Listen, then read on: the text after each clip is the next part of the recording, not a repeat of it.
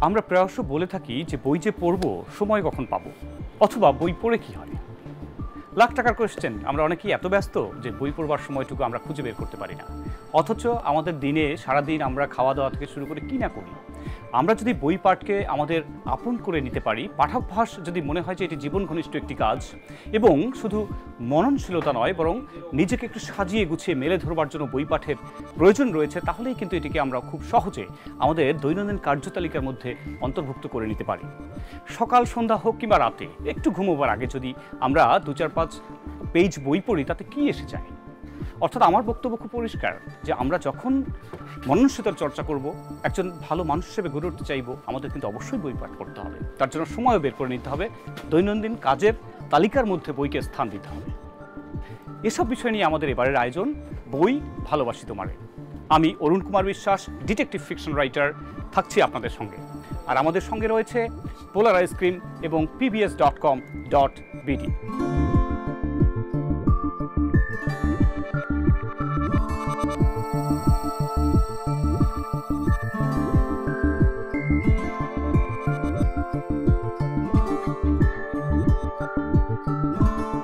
Jafrul Hasan এবং শামীম জাহান। তারা দুজনেই ঢাকা বিশ্ববিদ্যালয়ে পড়েছেন পড়েছেন বাংলা সাহিত্যে। ঢাকা বিশ্ববিদ্যালয়ের সেই ক্লাসরুমে যে সম্পর্কের শুরু, সেটি কিন্তু এখন আর সেখানে থেমে নেই। প্রণয়ের পথ ধরে তারা একসময় বিবাহিত হয়েছেন এবং আছেন একই ছাদের নিচে। মজার ব্যাপার, তারা দুজনেই লেখালেখি করেন। তারা প্রচুর বইও পড়ে আমরা জানি যে আমাদের জাফরুল হাসান, তিনি নানা বিষয়ে লিখছেন, কবিতা লিখছেন, ছোটদের জন্য, কিশোরদের জন্য। মুক্তিযুদ্ধের উপরেও তার লেখালেখি রয়েছে। এ পর্যন্ত তার বইয়ের সংখ্যা কুড়িটির উপরে। ওদিকে শামীম জাহান, তিনি কিন্তু একসময় ভিকারুনিসা নুন স্কুলের শিক্ষকতা করতেন। এখন তিনি পুরোদস্তুর পাঠক, মাঝে মাঝে লিখছেনও। চলুন, আমরা তাহলে জেনে আসি এই দম্পতির বই যাপনের গল্প।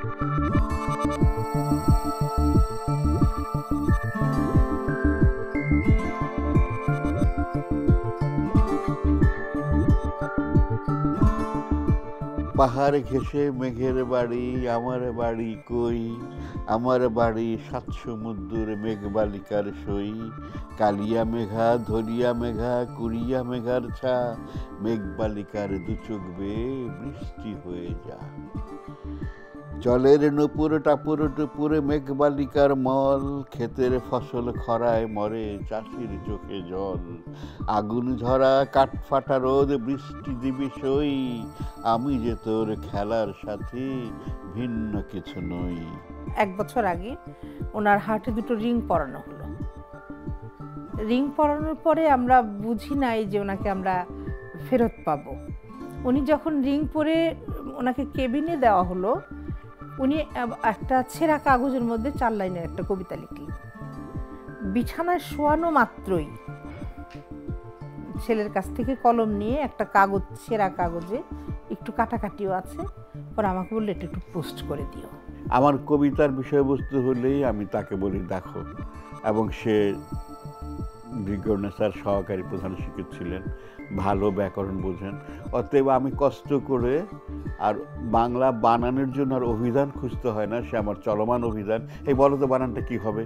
এটা রস্যিকার হবে না দীর্ঘ হবে, এটা রস্য না দীর্ঘ হবে। অতএব চলমান অভিধান সেই। আমরা সবসময় মনে করি ভালো রেজাল্ট ভালো পড়া, ভালো একটা চাকরি, ভালো একটা ই। এই জিনিসগুলোকে আমরা এত বেশি মূল্য দেই যে ভালো মানুষ যে হতে হবে, তার মধ্যে যে অনেকগুলো মূল্যবোধের সৃষ্টি হতে হবে, এটা আমরা ভুলে যাই। একটা ভালো মানুষ অনেকগুলো গুণের অধিকারী হতে হবে। এই জন্য আমাদের কিছু মাধ্যম দরকার। এক কথায় সে আমার অনুপ্রেরণা দাত্রী আর কি তার তার দ্বারা আমি অনুপ্রাণিত। সেই সে সর্বক্ষেত্রে কেবলমাত্র কবিতাকে কেন বলি আমার পুরো জীবন যাপন পুরো জীবন যাপনের মানে শতভাগ তাকে কেন্দ্রিক আর কি। স্কুল লাইব্রেরি থেকে বই নিয়ে আসতাম। বইয়ের যে একটা গন্ধ বই হাতে পেলে যে একটা বই পৃষ্ঠাগুলো যে অক্ষরগুলো যে একটা মনকে টানে, এই জিনিসটা আজকালকার বাচ্চারা খুব বেশি বোঝে বলে আমার মনে হয় না। আজকালকার এই প্রজন্ম চিঠি কী জিনিস তারা জানেই না, পত্র সাহিত্য তারা ভুলেই গেছে। মোবাইলের প্রযুক্তির কারণে, মোবাইলের কারণে S M S short message, কিন্তু একটা চিঠির যে গুরুত্ব সঙ্গতভাবেই তারা অনেকটা পিছিয়ে আছে, শিল্প, সাহিত্য, কবিতা পড়া। আমার মনে হচ্ছে আমাদের কোনো অনুষ্ঠান হলে আমরা বন্ধুকে, বান্ধবীকে বই উপহার দিতাম। এখন বই বলে কোনো প্রচলন নেই। আমার এই ছোটবেলায় দেখেছি যে বই উপহার পেলে আমরা খুব খুশি হতাম এবং আমাদের পাড়ায় বই বদল হতো। আমার বাড়িতে এই বইটা আছে গল্পের। আমার বন্ধুর বাড়িতে, আমার বা আমার পড়শির বাড়িতে আরেকটা বই আছে। আমি ওই বইটা আনব, আমার বইটা ওকে দেব। এইভাবে আমরা কিন্তু বিনিময়ের মাধ্যমে বই পড়তাম। এই জিনিসগুলো আজকালকার বাচ্চাদের মধ্যে নেই। তার অনেকটা সাহিত্য বিমুখ এই কারণেই তাদের হাতের কাছে সব কিছু তারা পাচ্ছে। তারা মোবাইলে তারা ইন্টারনেটে আধুনিক প্রযুক্তির কারণে তাদের হাতের মুঠে বিশ্বটা চলে আসছে। অত কষ্ট করে পড়ার মন মানসিকতা নাই। বাবারা প্রচুর জিনিস কিনে দেন। আমি বলব যে বই বাচ্চাদের হাতে কিনে দিন। বই নাড়লে শুধু যে মূল্যবোধগুলো শিখবে তা না ভাষা জ্ঞান বাড়বে, কথা বলতে পারবে, লিখতে পারবে, তাকে কিছু যদি লিখতে দেওয়া হয়, পড়তে পড়তে পড়তে পড়তে তার চোখের মধ্যে একটা বানান অক্ষরগুলো পড়তে পড়তে বানানটা তার চোখে এসে যায়। কেউ কাফকে নিয়ে আলোচনা করল, কেউ হয়তো বিশ্বের মানে মার্কচুয়ে নিয়ে আলোচনা করতো, কেউ হয়তো সামার সেট নিয়ে আলোচনা করল, তখন নিজেকে মনে হতো যে আমি কেন আলোচনা অংশ নিতে পারতেছি না অতএব আমাকে পড়তে হবে। পড়া ছাড়া সাহিত্য এগুলো যায় না। যেমন আমি সবার ভিতরে কি কাজ করে আমি জানি না। আমার ভিতরে একটা দায়িত্ববোধ কাজ করে যে আমি ভাষা সাহিত্য ছাত্র। অতএব আমার একটা দায়ভার আছে একটা দায়িত্ববোধ আছে। ইনস্টিটিউটের উদ্যোগে কার্যক্রম পরিচালিত হচ্ছে বাংলাদেশে। বাচ্চা কনফিউজড হয়ে যায় সে হিন্দি চ্যানেল দেখছে বাংলা ইংলিশ তো কোনটা সে পিক করবে?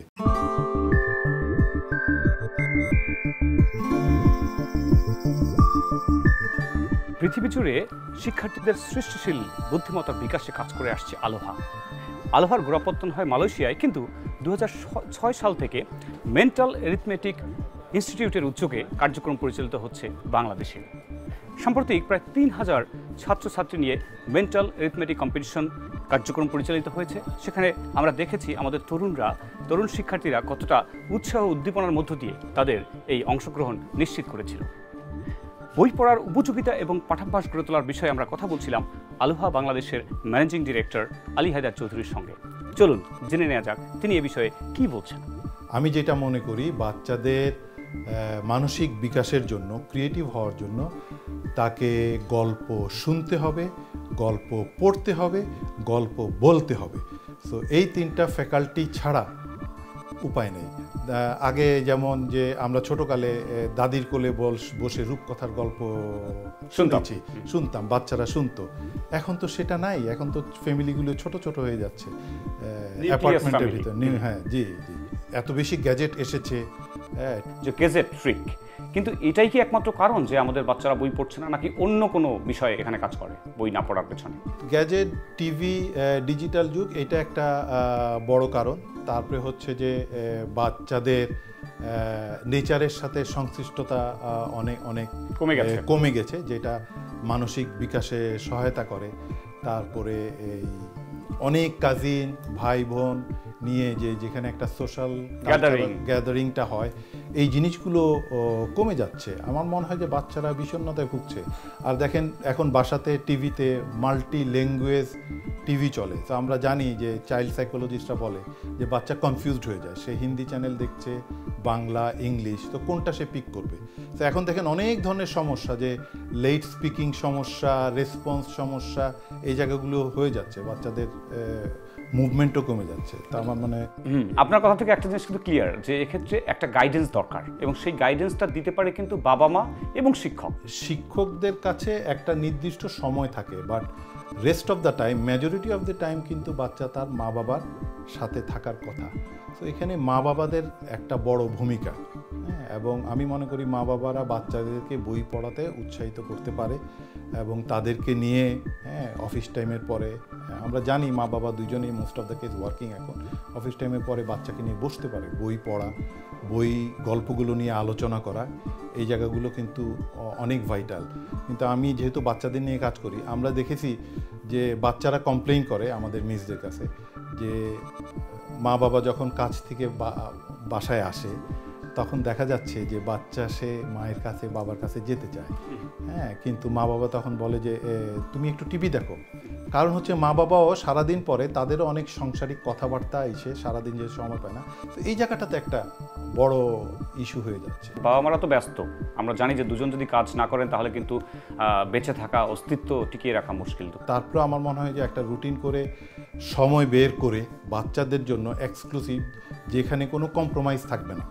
এবং সপ্তাহে একদিন বাচ্চাদেরকে নিয়ে ঘুরতে বের হওয়া, বই পড়ায় উৎসাহিত করা, এর কোনো বিকল্প নেই। প্রত্যেকটা ক্লাসে আমাদের মিসরা বাচ্চাদেরকে বই পড়তে উৎসাহিত করে। বিশেষ করে বই পড়া, ছবি আঁকা এবং আমি আমার প্যারেন্টসদেরকেও বাচ্চারা বলে। কারণ বই পড়লেই বাচ্চার কল্পনার জগৎটা বিকশিত হবে। কারণ আমরা মেন্টাল অ্যারেথমেটিক নিয়ে কাজ করছি, এটা অনেক বাবা মাই অঙ্কের কোচিং বলে বাট বেনিফিট পয়েন্টগুলো হচ্ছে রাইট সাইড অফ দি ব্রেইনটা অ্যাক্টিভেটেড হয়, যেটা হচ্ছে যে কল্পনার জগৎটাকে বাড়ানো।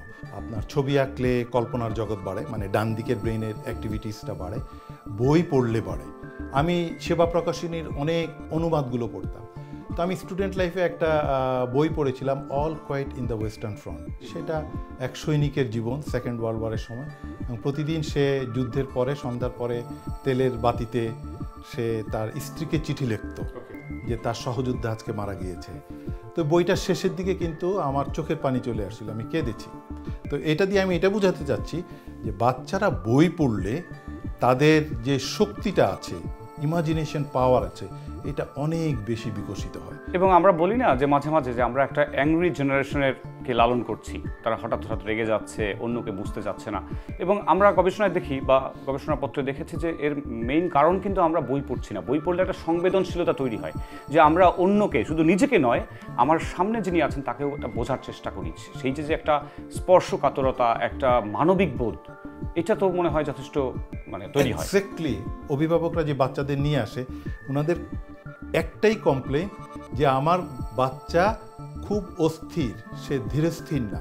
তা আমরা বলি যে হ্যাঁ আমাদের কোর্সটা বা এই বই পড়াটা কিন্তু বাচ্চাদেরকে স্থিরতা দেয়।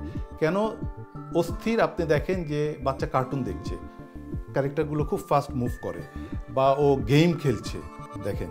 সো এটা বাচ্চাদের ভিতর অস্থিরতা তৈরি করে। ইন এগেনস্ট দ্যাট বাচ্চা যদি বই পড়ে, বইটা পড়বে, সে কল্পনা করবে, নদী কল্পনা করবে, সমুদ্র তার ভিতরে একটা স্থিরতা আসবে, ফোকাস আসবে। বা একটা বাচ্চা যখন ছবি আঁকে ড্রয়িং করে, সেও কিন্তু তার কল্পনার জগতের ইয়েটা তৈরি করে। তো এই জন্যই বলছি আপনার কথার সাথে আমি এক এক- একেবারেই একমত যে আমাদের জাতি ইসে সব জায়গায় বাচ্চারা অস্থির হয়ে গেছে। আপনি রাস্তায় বেরোলে দেখবেন গাড়ি ঘোড়া চলছে মনে হচ্ছে সবাই যেন ছুটছে। একটা অস্থিরতা স্থিরতাটা নেই। আপনার শৈশব কৈশোর সে সময় কীভাবে কীরকম বাতাবরণ ছিল? বই কোথা থেকে সংগ্রহ করতেন? বই পড়তেন কীরকম কীভাবে? আমাদের এলাকায় এলাকায় পাড়ায় পাড়ায় কিন্তু বইয়ের লাইব্রেরি ছিল। সো দু টাকা দিয়ে বই ভাড়া নিয়ে আসতাম।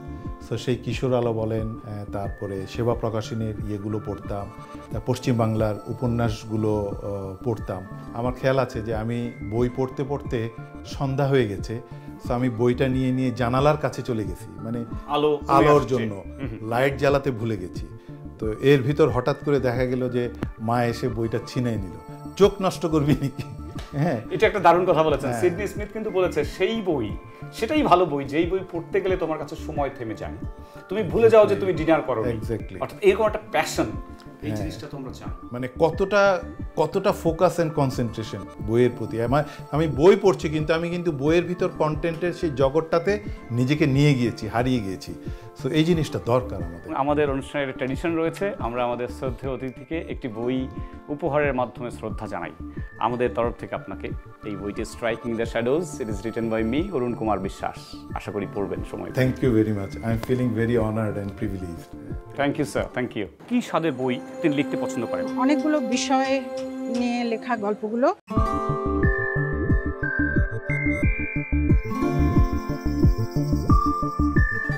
কথাসাহিত্যিক নাহার মনিকা মূলত কবিতা লেখেন। তবে ছোট গল্প উপন্যাস মিলিয়ে তার প্রকাশিত বইয়ের সংখ্যা ছয়। তিনি কানাডায় থাকেন, কিন্তু বাংলাদেশের প্রতি তার অটুট এক টান রয়েছে। গত বইমেলায় তার প্রকাশিত গল্পগ্রন্থ বেরিয়েছিল এবং আমরা সেই গল্প পড়ে জানতে পারি যে ঠিক কী স্বাদের বই তিনি লিখতে পছন্দ করেন। চলুন, আমরা জেনে আসি নাহার মনিকার সেই ছোট গল্পের প্রসঙ্গে। আমি প্রথমে আমার আনন্দের জন্য লিখি, কিন্তু তারপর যখন বই আকারে এটি প্রকাশিত হয়ে যায়, সেটি পাঠকের পাতে দেওয়ার একটা ব্যাপার এবং পাঠক পছন্দ করলে নিঃসন্দেহে খুবই অনুপ্রেরণার ব্যাপার। মিথস্ক্রিয়াটা আমার সত্যি ভালো লাগে। পুঁথিনিলয়ে প্রকাশনী থেকে প্রকাশিত হয়েছে আমার নির্বাচিত গল্প। এই বইতে আটচল্লিশটি বাছাই করা গল্প আছে। অনেকগুলো বিষয় নিয়ে লেখা গল্পগুলো আমি গল্প লিখি মূলত দেশ নিয়ে, মুক্তিযুদ্ধ, রাজনীতি, অভিবাসন একটা বিষয় আমার জন্য, কারণ আমি দীর্ঘদিন দেশের বাইরে থাকা এবং দেশের সাথে যে সংযোগের ব্যাপারটা থাকে, আমার ছোট গল্পে এটা একটা প্রেক্ষাপট। আমার বিষয়কে কেন্দ্র করে একটা মনোজাগতিক যাত্রাকে আমার গল্পে ধরবার চেষ্টা করি। হয়তো চেনা বিষয়গুলো নিয়ে আমি লিখলাম, পাঠক পড়তে পড়তে হয়তো চেনা বিষয়কে একটা বহুরৈখিক মাত্রায় তারা গল্পগুলোকে যদি আবিষ্কার করতে পারে, সেটাই আমার চেষ্টা থাকে। ছোট গল্প বা মানে যে কোনো সাহিত্যেরই একটা খুবই গুরুত্বপূর্ণ ধারা। এটার জন্য এক- একজন পাঠকেরও তৈরি হতে হয়।